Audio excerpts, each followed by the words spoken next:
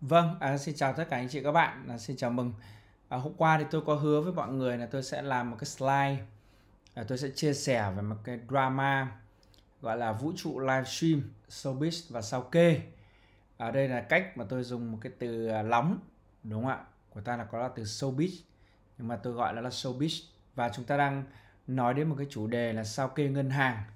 Và trên mạng thì người ta nói rằng đây là một cái chòm sao mới mới tìm ra được thuộc cái giải ngân hàng đúng không ạ? Và cái chòm sao này nó chiếu vào ờ, ngôi sao nào thì ngôi sao đấy có thể sẽ phải giải nghệ ở một cách rất là vui vui. Và à, tôi cũng làm cái slide này theo cái cách tiếp cận. Đây là một cái series livestream như một bộ phim à, với sự à, sản xuất à, cũng như là đạo diễn cũng như là diễn viên chính. À, là một người phụ nữ có quyền lực rất cao à, trên mạng xã hội bây giờ. Và trong bộ phim này thì bà ấy có cái tên là Thanos Moon. À, tôi là nhà phê bình và nhà phân tích livestream à, Phan Anh và công ty PA Marketing. À, tên tôi là Phan Anh và mặt tôi đây. À, chắc chắn rằng là tôi cũng sẽ không phải là làm một cái video để gọi là buffet gì cả. À, tôi là giảng viên đại học là một chuyên gia về marketing online và truyền thông trực tuyến. À, và tôi quan trọng nhất là tôi cũng có bằng về luật nên tôi sẽ à, phân tích những câu chuyện này dưới khía cạnh pháp luật. Nó cũng sẽ khác với à, những người khác đúng không ạ? À, nó sẽ có cả những cái khía cạnh về đạo đức về pháp lý và à, về cả mặt truyền thông. Thế thì à, vũ trụ livestream showbiz và sao kê ở đây thì cái video này là dành cho trẻ trên 18 tuổi nhé. À, livestream này sẽ có nhiều cái nội dung à, nó sẽ không được tích cực lắm. Đấy, đúng không ạ? Cũng sẽ gây hoang mang style một chút. Đấy, và vui lòng giữ bình tĩnh khi xem đúng không? À, tuy nhiên nếu mà không công bằng được à, thì chúng ta vẫn có thể yêu ghét thoải mái. À, chúng ta thích nhân vật nào chúng ta cứ yêu. Chúng ta không thích nhân vật nào chúng ta ghét. Bởi vì đơn giản đây chỉ là drama trên mạng xã hội đúng không ạ? Giải trí cho chúng ta trong cái dịp à, covid đang hoành hành như thế này. Vâng và tất cả các nhân vật trong này thì đều đã được đổi tên à, dựa trên những câu chuyện có thật ở Việt Nam. Đấy, các cái nhân vật trong cái video này của tôi à, cái streaming cái à, vlog này là tôi đã đặt những cái tên khác và các bạn hoàn toàn có thể suy đoán được đó là ai. Thế thì kịch bản livestream vũ trụ showbiz giải hạn sau kê ở đây thì sẽ gồm những cái gì? Ví dụ như là đạo diễn kiêm diễn viên chính đó là bà Thanos Moon và Thanos là một cái nhân vật có một cái sức mạnh rất là tốt rất là kinh khủng trong bộ phim Endgame. À, tôi cũng là một người rất là mê phim và chắc là các bạn cũng như vậy. Với một cái búng tay đầy uy lực và có thể làm tan biến mọi thứ đúng không ạ?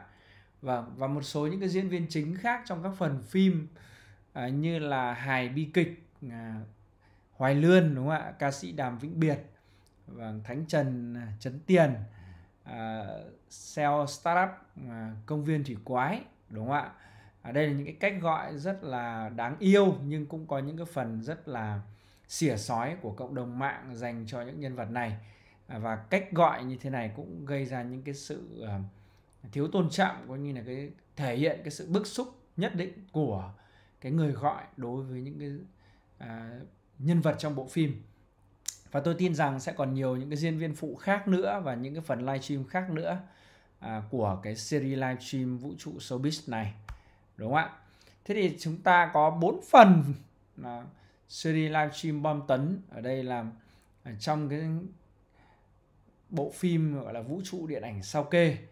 Thì đồ, phần đầu tiên à, trong giấc mơ của chị Hằng đó là giải ngân chậm. Đúng không ạ? Thì chúng ta đều đã được biết cái vụ việc này khá là rõ ràng và đưa lên báo chí cũng như truyền thông mạng xã hội trong các hội nhóm rất là nhiều. Vâng đó là vua bi kịch à, Hoài Lương thì à, cầm tiền từ thiện khoảng 14 tỷ nhưng chưa giải ngân. Và trong một giấc mơ của Thanos Moon đã nói rằng là à, chị vẫn thấy rằng là nghệ sĩ này đang cầm tiền 6 7 tháng nay chưa giải ngân. Và dân chúng thì cũng đúng là không biết, không để ý thật. Và của đáng tội thì chuyện đó là có đúng và nó dấy lên một cái ờ, vấn đề đấy chính là à, các bạn đi kêu gọi từ thiện vào mùa lũ Ờ, nhưng mà đến tận sáng năm bạn mới đi trao thì liệu rằng cái ý nghĩa của việc từ thiện của cái việc mà ừ, cứu người như cứu hỏa có còn hay không? À, trong cái phần 1 này thì vua bi kịch chưa bị đánh giá là ăn tiền chỉ bị cho là giải ngân chậm và có dấu hiệu gì đó đúng không ạ? À, lạm dụng tín nhiệm cá nhân để mà gây trục lợi tất nhiên thì chúng ta cũng có thể giải thích là do dịch bệnh cũng có thể giải thích do sức khỏe ốm yếu do công việc bận đúng không? Nhưng xét về góc độ nào đó thì à, cái việc giải ngân chậm cũng hoàn toàn là không đúng. Đó thế thì à, cái tập 1 của phần phim này cũng rất là gây cấn và kết quả đã ngã ngũ đúng không ạ? À, bà Thanos Moon đã búng tay một cái thì à, vua bi kịch Hoài Lương đã nằm viện và cơ bản là danh tiếng cũng bị ảnh hưởng rất nhiều và ảnh hưởng theo hướng tiêu cực. À, cá nhân tôi là một người thì cũng không hâm mộ à, cả diễn viên chính nhà sản xuất Thanos Moon cũng như là cũng như là diễn viên à, trong cái vai phản diện là vua bi kịch Hoài Lương à, tôi không có bênh người nào và tôi cũng không có yêu người nào tôi cũng không có ghét người nào. Thì tôi nhận thấy rằng là trong vụ việc này thì rõ ràng là nghệ sĩ này là có lỗi mặc dù cái lỗi này là nó không gây ra tội và nó mới chỉ đơn thuần ở cái mức độ là giải ngân chậm chứ chưa có dấu hiệu gian lận. Và à, đến tập phim thứ hai đúng không ạ? Phần 2 thì các bộ phim ăn khách thì bao giờ nó cũng có rất là nhiều à, cái phần tiếp theo ví dụ như là bộ phim Fast and Furious bây giờ đã đến phần 9 rồi đúng không ạ? Hay là các bộ phim người nhện hay là người sắt đều có những bộ phần tiếp theo. Và à, vũ trụ điện ảnh sao kê của Thanos Moon cũng như vậy. À, giấc mơ sao kê của chị Hằng là gì? À, chị Hằng có mơ thấy là ca sĩ Đàm Vĩnh Biệt có một cái sự không minh bạch về tiền từ thiện với cái số tiền lên tới 96 tỷ. Đó. Và chi tiết của cái này thì tôi sẽ cũng sẽ nói sau đúng không ạ?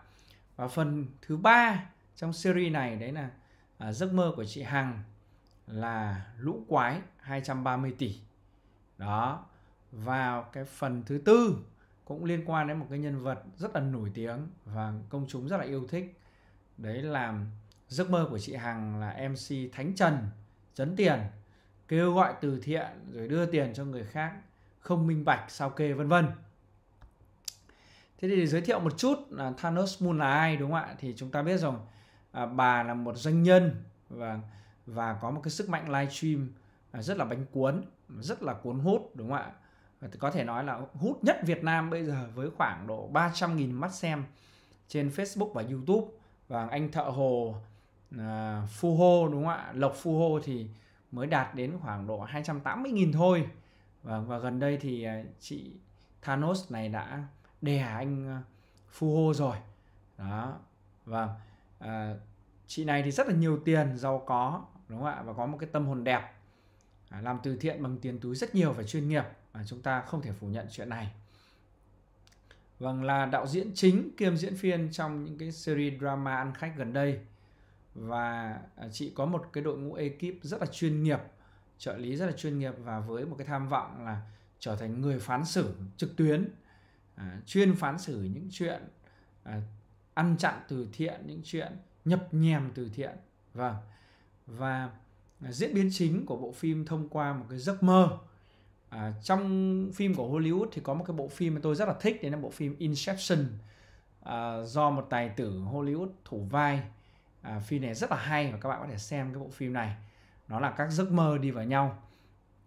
Thế đầu tiên đấy là cái búng tay của Thanos Moon trong phần Endgame đã làm bay mọi danh hiệu mọi sự yêu mến sự tôn thờ của công chúng dành cho một nghệ sĩ hài kịch và chúng ta đã biết đúng không ạ? Và câu chuyện này đã trở thành bi kịch với vấn đề từ thiện. À, nghệ sĩ này thì rõ ràng là không bị coi là ăn chặn tiền nhưng mà bị coi là ngâm đúng không? Giải ngân chậm và công chúng bắt đầu mất lòng tin vào nghệ sĩ. Và xảy ra những cái ờ, xung đột tranh luận cực kỳ gay gắt cực kỳ khủng khiếp với cái số lượng tương tác rất là lớn. À, bởi vì ở đây cũng là một nghệ sĩ có uy tín và có uh, Ờ, cái tôi rất là lớn cũng như là có cái sức ảnh hưởng rất là lớn đối với các cái à, giới nghệ sĩ khác đúng không ạ? Và và đang hot nhất trong gần đây đang hot nhất trong mấy ngày gần đây đó là à, giấc mơ của chị Hằng đó là sao kê à, chiếu mệnh vào vùng cấm ca sĩ Đầm Vĩnh Biệt. Thì cái diễn biến của câu chuyện đấy chính là chị Hằng livestream mơ thấy ca sĩ à, Đàm Vĩnh Biệt có một cái sự nhập nhèm không rõ ràng chưa minh bạch về tiền từ thiện trong vài năm gần đây. Và chị nói rằng là chị có cầm 1,9 kg giấy A4 chứng từ sao kê các loại của ca sĩ này. À, trong khi đó thì bản thân ca sĩ này cũng không hề nghĩ đến chuyện sao kê hay đóng băng tài khoản để à, xử lý cái việc đó. Thế thì sau một cái live stream như vậy thì ờ, tất nhiên là với tính cách của ca sĩ Đầm Vĩnh Biệt thì à, có làm một cái video và edit rất là cẩn thận rồi mang ra thách đấu và và muốn là lấy một viên kim cương của chị Hằng. À, và cái video này tôi cũng đã xem thì cơ bản không nói lên được gì cả. Và mọi người vào mọi người thấy rất là đối lý đúng không ạ? Vâng.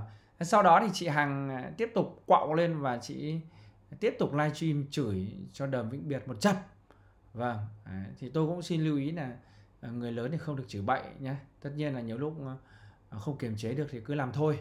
Đó thế thì cư dân mạng lúc này chỉ quan tâm đến mỗi cái vấn đề sao kê thôi. Đúng không ạ? Có sao kê là có tất cả và không có sao kê thì không có gì. Thế thì tôi thì tôi nghĩ thế này này. Về góc độ pháp lý, về góc độ pháp lý nhé tôi xin nhắc lại là tôi có hai bằng đại học luật chính quy. Và tôi hiện nay đang không hành nghề luật sư. Nhưng mà nói chung pháp lý thì tôi cũng biết một chút. Thế thì à, hành động của diễn viên chính trong phần 2 là phần sao kê vùng cấm này thì à, có thể bị quy vào tội vu khống hoặc làm nhục người khác. Đó ai là người bị hại thì có thể à, chuẩn bị đơn từ để kiện ra tòa à, đưa đơn lên cơ quan công an để bảo vệ quyền và lợi ích hợp pháp của cái người bị hại. Vâng thì đến thời điểm này ngày hôm nay là ngày mùng 5 tháng 9 thì vẫn chưa có một cái vụ việc nào liên quan đến vấn đề về kiện một cách chính thức đúng không ạ? Thì hiện nay ca sĩ Đầm Vĩnh Biệt thì đang à, công khai rằng là đang làm việc với các luật sư để mà chuẩn bị cho vụ kiện rất là hy hữu như thế này. Đó vụ kiện này thì tôi nghĩ là nó không liên quan gì vấn đề phải mất bao nhiêu tiền án phí hay là à, người thua phải bồi thường bao nhiêu tiền mà nó liên quan đến danh dự nó liên quan đến uy tín thương hiệu đạo đức nghề nghiệp của một con người. Nói chung và thứ hai nữa là của một nghệ sĩ lớn cũng như là của một doanh nhân lớn. Đó. thì chúng ta sẽ nên hành xử theo cách của người có học thức là chúng ta nên sử dụng đến pháp luật. Thế thì chúng ta nhớ rằng là chỉ có tòa án mới có quyền tuyên bố ai là người có tội. Và nếu như tòa chưa tuyên bố thì không ai là người có tội. Kể cả Thanos Moon và diễn viên anh hùng à, ca sĩ bất đắc dĩ ca sĩ à, vùng cấm đờm vĩnh biệt đều không có tội chưa có tội. Đấy, các bạn và tôi nhìn nhận góc độ tình cảm góc độ đạo đức góc độ hiểu biết. Nhất định chúng ta đánh giá người này tốt người kia không tốt người này sai người kia đúng.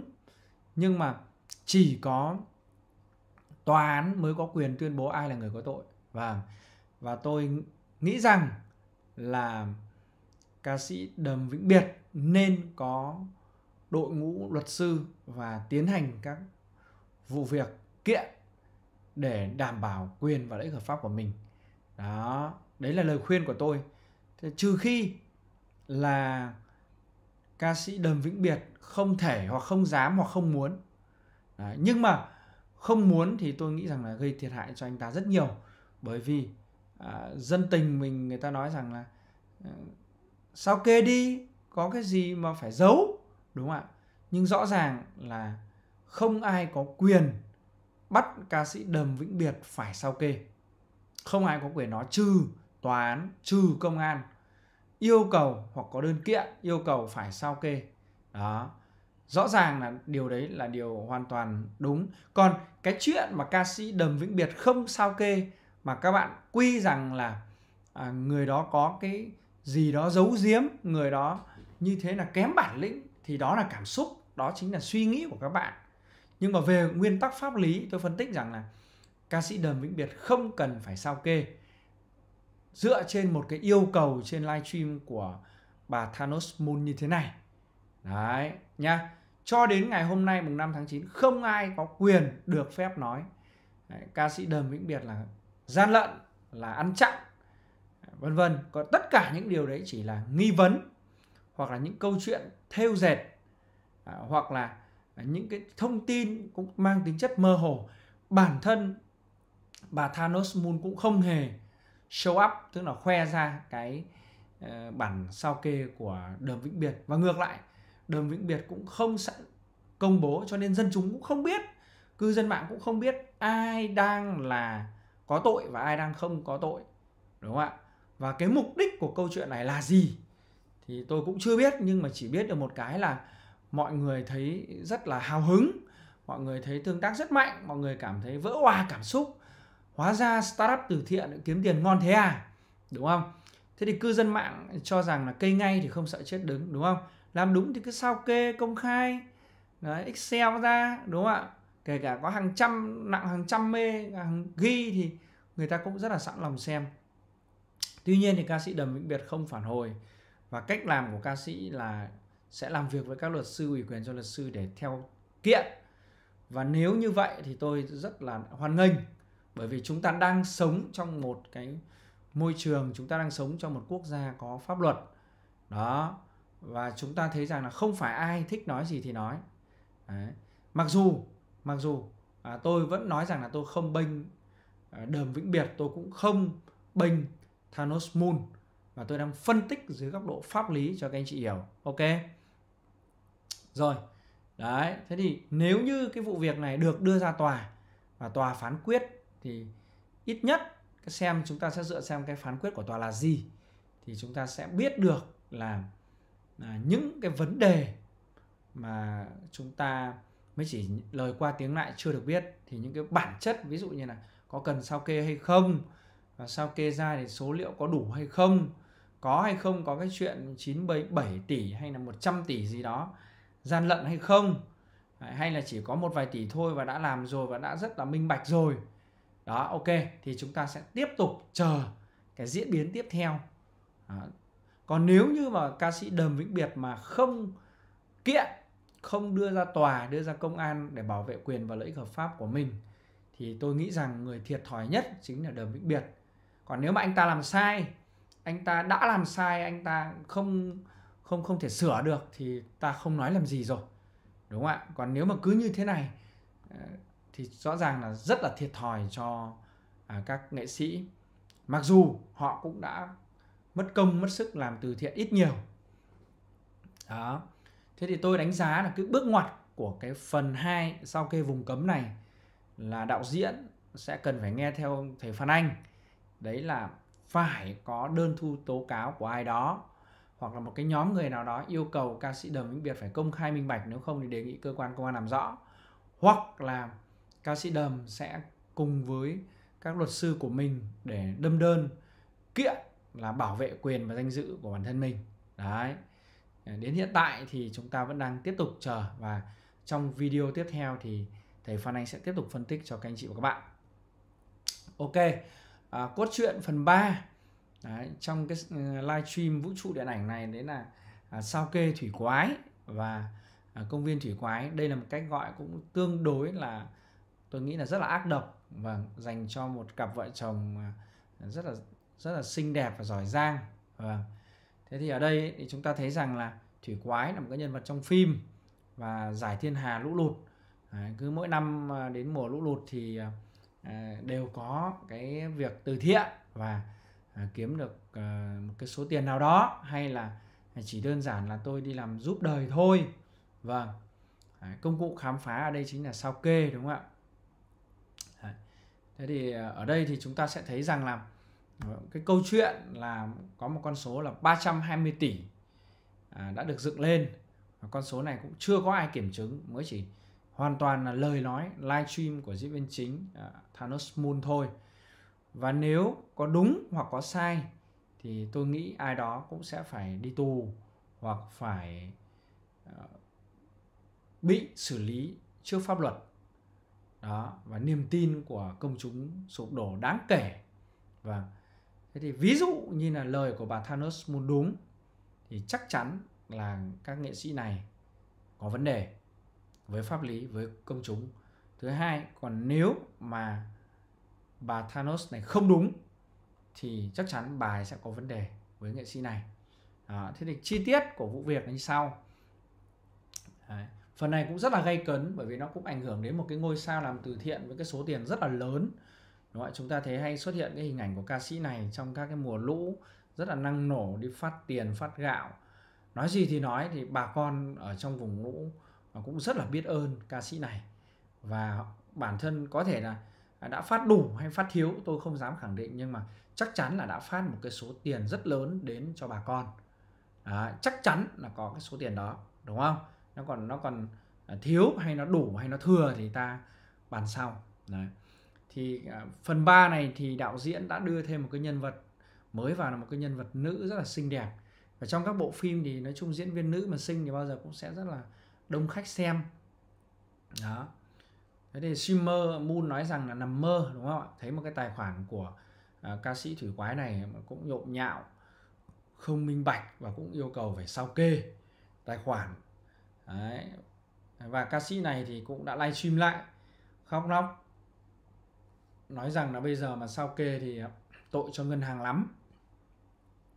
Thì thực ra nghe cũng rất là hợp lý nhưng mà cá nhân tôi thì cho rằng là xét về mặt kinh doanh ấy, thì chủ tài khoản chính là khách hàng của ngân hàng. Và chủ tài khoản có quyền yêu cầu ngân hàng sao kê. Và ngân hàng sẽ cung cấp dịch vụ này một cách đầy đủ và có thu phí. Trước đây tôi ra ngân hàng sao kê thì họ thu tôi bao nhiêu tiền đó? Đấy, có thể mấy chục nghìn.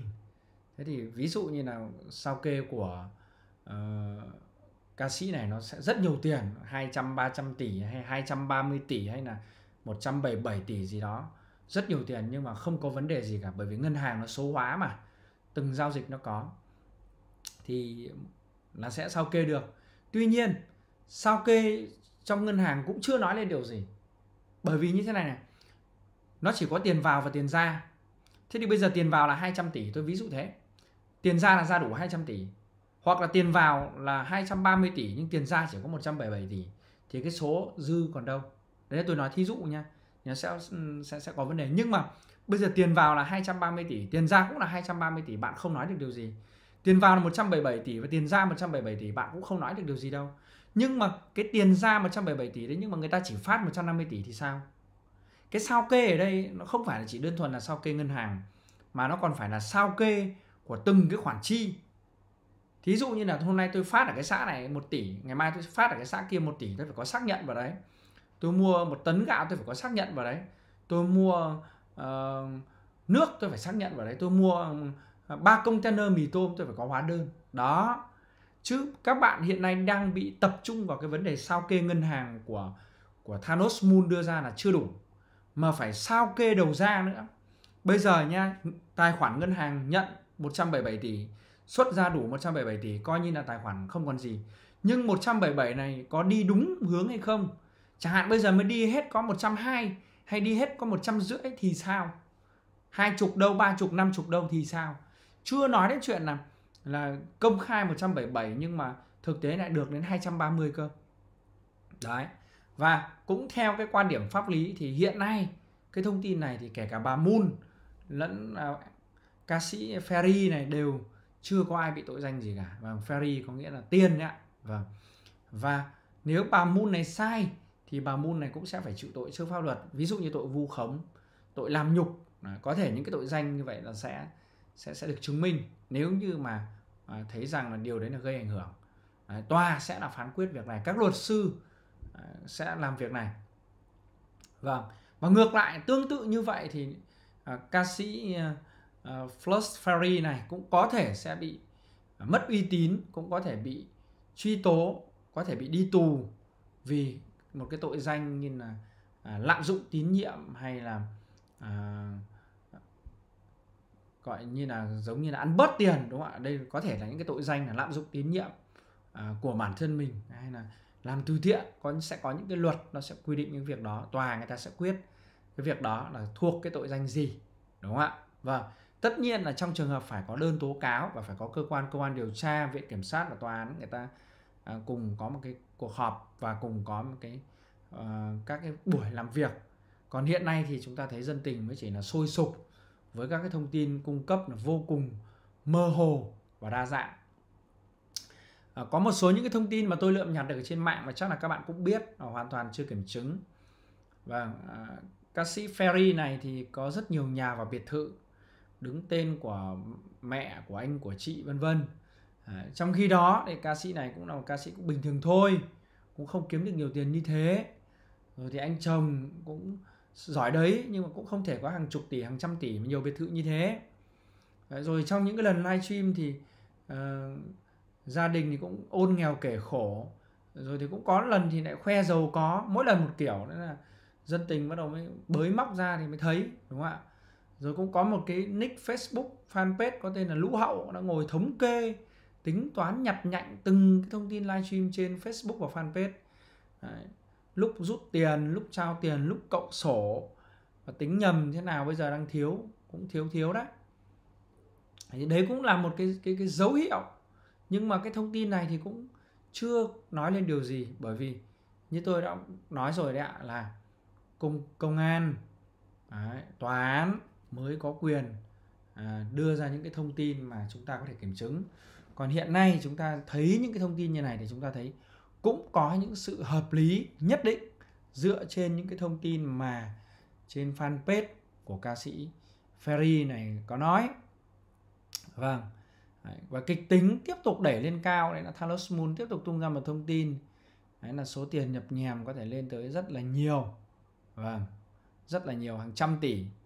Và câu chuyện nó vẫn sẽ theo một cách rất là giống nhau của các phần trước một bên thì livestream bóc phốt, một bên thì livestream khóc lóc. Và tôi thấy tôi thấy rất là kỳ lạ, đấy là là chúng ta sống trong một đất nước có pháp lý, nhưng mà cứ suốt ngày lên ờ, comment rồi livestream rồi khóc lóc, đúng không? Và đây, tôi, đây là một cái thứ văn hóa mà tôi cho rằng nó rất là xấu xí. Vâng nếu bà Moon sai thì các bên hãy đâm đơn kiện cho xã hội được nhờ, bớt nhảm nhí đi, đúng không ạ? Và nếu mà nàng tiên sai đúng không ạ? Thì hãy đâm đơn cho đi tù đi. Đấy. cho nó ba mặt một nhời rõ ràng đi. Cứ nói qua nói lại đôi co này mệt quá. Đấy. đúng không? Rồi tiếp tục những cái giấc mơ thứ tư. Đấy. đó là thánh trần chấn tiền. Vâng. Thì đây cũng là một cái series mới. Chưa căng thẳng lắm đúng không nhưng mà cũng dự kiến là cũng sẽ rất ăn khách. Bởi vì là um, sẽ có thêm một cái nhân vật rất là hot hit vào. Đấy thế thì series này liên quan đến một MC đang rất là hot. Và cũng bị đạo diễn ép đóng vai phản diện là sao kê à, rằng là huy động vốn huy động uh, quỹ từ thiện thế nhưng mà lại uh, đi cho người khác ủy nhiệm chi không làm bận đúng không ạ? Ờ, rồi thì làm thì không tốt không minh bạch vân vân. Và mọi người thì lại xoáy vào cái chuyện đó đúng không ạ? Xoáy vào cái chuyện là gì? Kêu gọi thì không tự làm. Rồi ủy thác ủy thác có làm tốt hay không? Ủy thác xong thì có kiểm chứng hay không? Ủy thác xong thì ờ, có ừ, sao kê hay không? Kiểu kiểu như thế. Ví dụ như bây giờ MC đưa cho thầy Phan Anh ờ, 3 tỷ, thế nhưng mà thầy Phan Anh cất 2 tỷ đi ờ, còn làm co tỷ thôi MC cũng không biết, đúng không? Rồi. Đấy. Thế thì tất cả những cái sâu chuỗi để tôi nói lại một chút những cái vấn đề này một số cái quan điểm riêng của tôi đúng không ạ thì tôi thấy là uh, làm từ thiện bằng cách chuyển tiền cho bên thứ ba cũng được Đấy.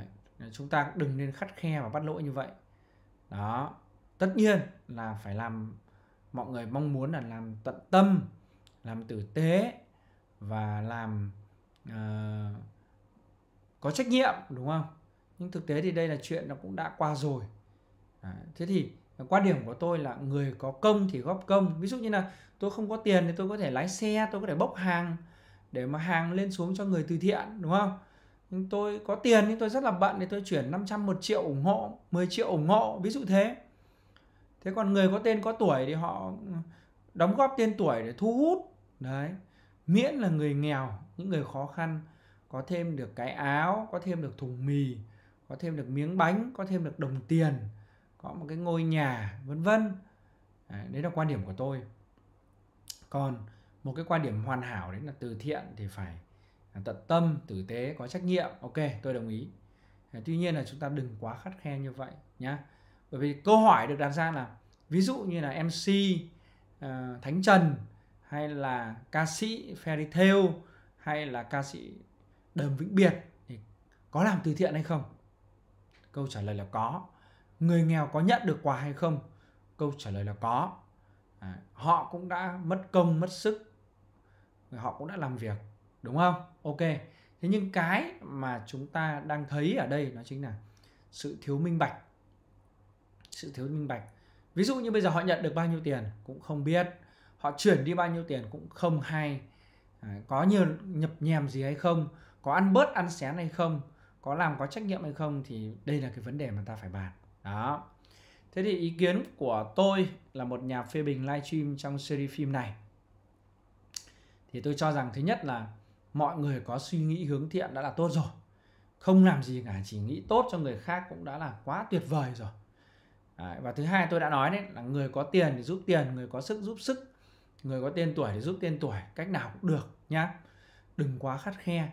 Bây giờ chúng ta cứ đánh đập họ như thế này thì sau đấy thì không còn ai làm nữa thì chỉ thiệt thiệt cái người uh, mà người ta là người nghèo thôi. Đó. Chúng ta thấy rằng là thực tế là nhiều tổ chức chính quy của Việt Nam lại không có được một cái sự tín nhiệm của người dân nên quỹ rất là eo hẹp.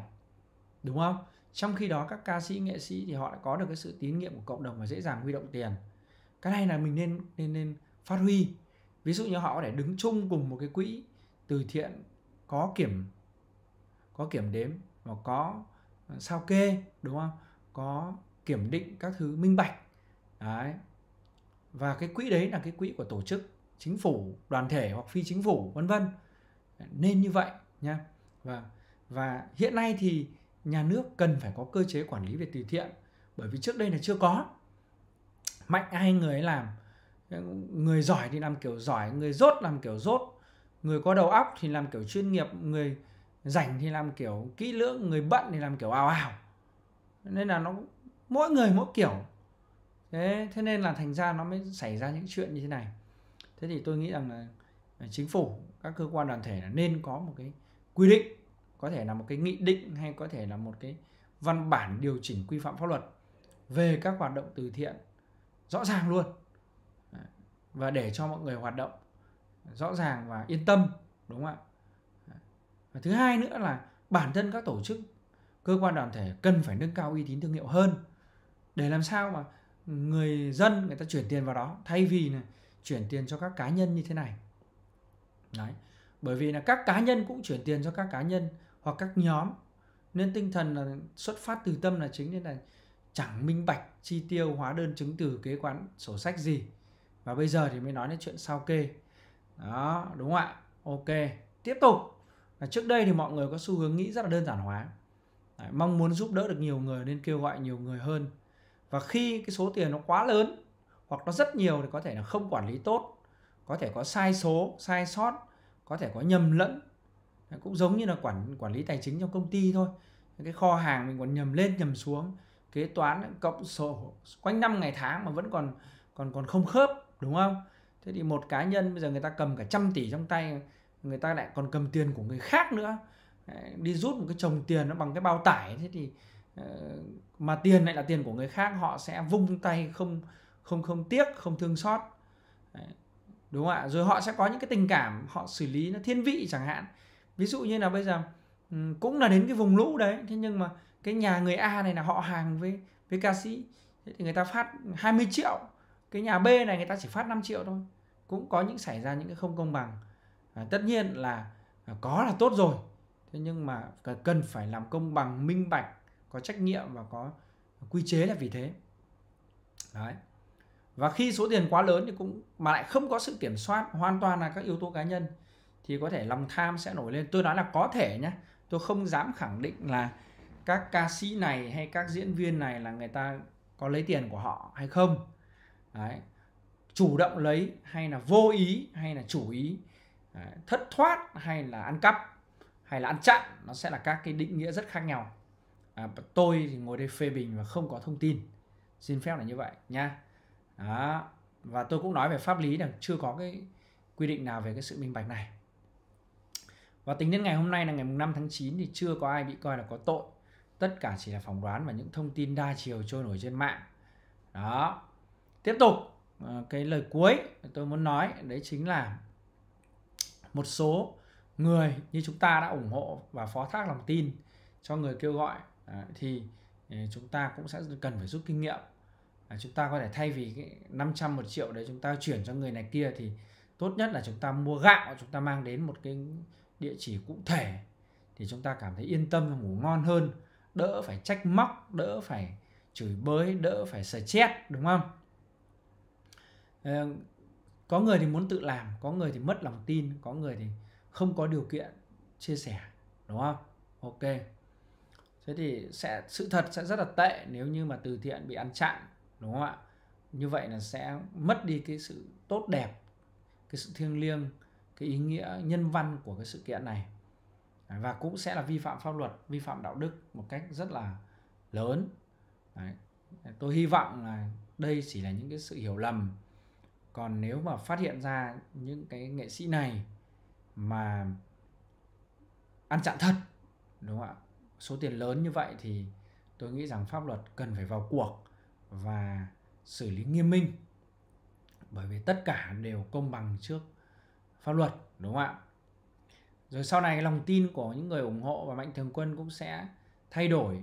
À, có thể là họ sẽ tự làm đúng không ạ? Họ sẽ không chuyển nữa hoặc họ sẽ tìm cách khác. Đấy, và đặc biệt là hình ảnh thương hiệu cá nhân của những ngôi sao này đang bị thiệt hại rất đáng kể. Đấy, dù kết quả như thế nào nếu mà kết quả mà tốt đứng về phía họ thì nó đỡ được một phần nào. Còn nếu mà kết quả xấu thì gần như họ sẽ mất hết mất hết toàn bộ sự nghiệp đúng không ạ? Vâng. Và cuối cùng thì tôi vẫn nói rằng là lần thứ ba tôi có nói rằng là không ai bị coi là có tội nếu như mà tòa án chưa kết tội được chưa ạ? Vâng. Hãy theo à, hãy theo dõi vụ việc này bằng một cái đầu lạnh đa chiều và có ý kiến thì hãy có ý kiến một cách à, xác đáng. Đừng, đừng có chửi bới người này a du a tòng bởi vì mọi thứ vẫn còn à, rất là mới đúng không ạ? Và mới chỉ là những cái thông tin ở trên mạng mà thôi. Vâng thế thì có bạn cũng sẽ hỏi tôi là đã làm từ thiện chưa mà ngồi ừ, phân tích kinh thế tôi trả lời là rồi. Tôi làm bằng cách nào thì tôi làm tiền túi thôi đúng không ạ? Tôi hay có cái cách làm à, tôi sẽ mở một cái lớp học miễn phí và tôi sẽ thu một cái khoản học phí rất là nhỏ và toàn bộ cái tiền học phí đấy tôi sẽ trao cho à, một cái người nào đấy hay một cái tổ chức nào đấy.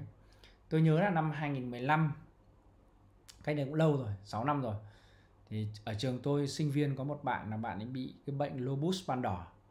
Đấy, và nhà trường cũng kêu gọi là bạn ấy à, cần một cái số tiền lớn để chữa bệnh.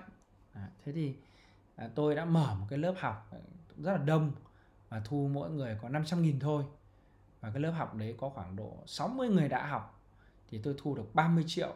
Và sau đó thì tôi cũng xin thêm một số thầy cô khác nữa thì à, tôi có 40 triệu và tôi đã đưa 40 triệu đấy trước mặt cả 60 học viên à, và đưa cho phụ huynh cũng như là mẹ của bạn sinh viên đó trao tận tay trước mặt tất cả mọi người thế thì nên là người ta cũng thấy là rất là minh bạch và tiền túi đúng không ạ? Nên là xong xuôi không ai nói một câu gì cả. Không ai có chuyện là bắt thầy phải sao kê hay là thầy thế này thầy thế khác đúng không? Ok. Đấy. hoặc là vừa rồi gần đây nhất thì tôi cũng mở một cái lớp học về uh, chiến lược vaccine dành cho doanh nghiệp. À, thì tôi cũng không lấy học phí. À, và cũng có khoảng độ 40 anh chị tham dự học trong đó thì tôi có đưa ra lời kêu gọi là mỗi anh chị ủng hộ cho tôi 500 nghìn để tôi mua gạo. Và tôi đã thu được một cái số tiền là 17 triệu. Thì tôi đã mua ờ, 15 triệu tiền gạo để đi ủng hộ. Đấy, và phát cho từng người. À, còn 2 triệu thì tôi trả cho một bạn trợ lý cho lớp cũng rất là khó khăn. À, và mọi người không có nói gì mọi người không bắt tôi phải sao kê gì cả bởi vì tôi đã chụp đầy đủ hóa đơn là mua gạo đã có đầy đủ hình ảnh. Đó nhá. Ok rồi. À, cảm ơn các bạn đã theo dõi video này tương đối dài dòng và kỹ lưỡng. Xin chào và hẹn gặp lại các bạn trong video tiếp theo. Xin cảm ơn.